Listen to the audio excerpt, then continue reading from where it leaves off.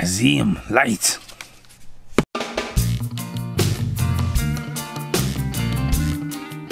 Hello, welcome to review rant random. Apologies for lighting. It's just going half one in the morning. Um, doing a lot in the background, and I've watched Celtic Pride finally. Um, remember this back in the day with VHS? I think I've seen it once.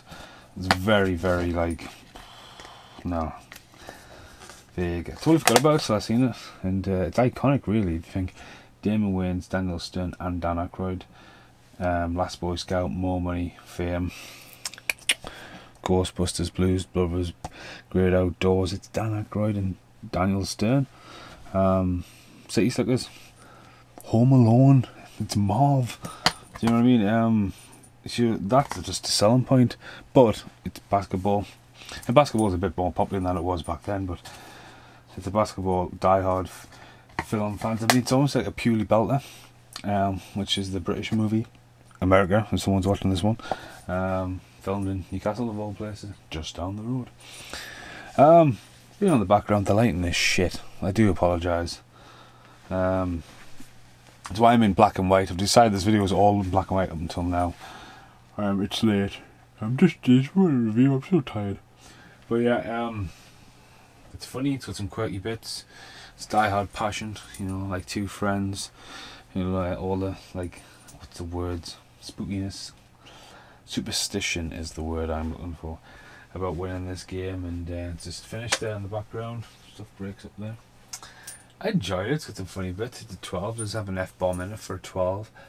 Um, brilliant free throw by Dan Aykroyd at the end of it. That's pretty good. And it's a. I mean, they kidnap the guy, and there's a lot of funny innuendo jokes and stuff like that. It's got the uh, the the coach as well. The bad team is the same guy from um, Happy Gilmore. So yeah, a lot of people, uh, probably a lot of cameos who I didn't know, but Stephen Marsh. I don't know. It's got some funny but They're just following the game of basketball. You know, there it is in the background. I enjoyed it. In the background, no quarter of all those funny bits, drawing the things.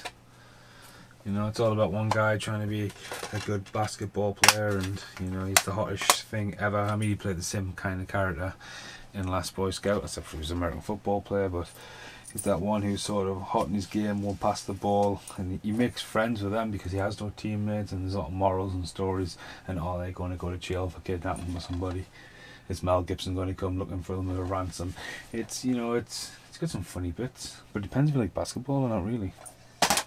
Oh, yeah, enjoyed. Enjoyed enough to get up and do a review, but it's not very memorable. It's just really happened. You know, funny things, uh, friendships, and yeah, I'm gonna put that in the pile. See you in the Note to self, I mean, don't get us wrong, I own it, I bought it, justified to play in the background, and I know we just put film scores on, why I buy a lot of soundtracks and vinyls, you know. I, mean, I just bought the, the screen vinyl. I mean, that ended with play that funky music, White Boy, um, at the end there, which is pretty good. Not as good as when it's using Evolution, that's amazing. But uh, yeah, for just to be playing in the background, I haven't really. Here we go, I'm just putting it away before I'm about to put it back on that's rendered anyway so.